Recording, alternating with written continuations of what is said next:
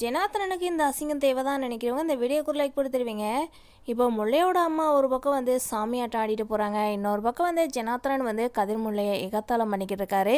நீங்கள் வந்த வேலையை மட்டும் பார்க்கலாம் அப்படின்னு இப்போ நம்ம ஜனார்த்தனனுக்கு பாடம் கற்றுக் கொடுக்குறாரு நம்ம ஜீவா.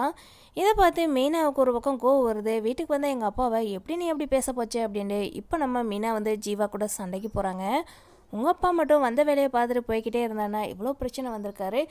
அவர் எதுக்கு தேவையில்லாத விஷயத்துலலாம் தலையிடுறாரு? அதுவும் நம்ம குடும்ப விஷயத்தில் தலையிட அவருக்கு என்ன யோகிதை இருக்குது அப்படின்ற மாதிரி வந்து கேட்குறாங்க இப்போ வந்து மீனா வந்து ஏன் உங்களுக்கு பணம் தேவைங்கும் போது மட்டும் எங்கள் அப்பா கண்ணுக்கு தெரியறாரா?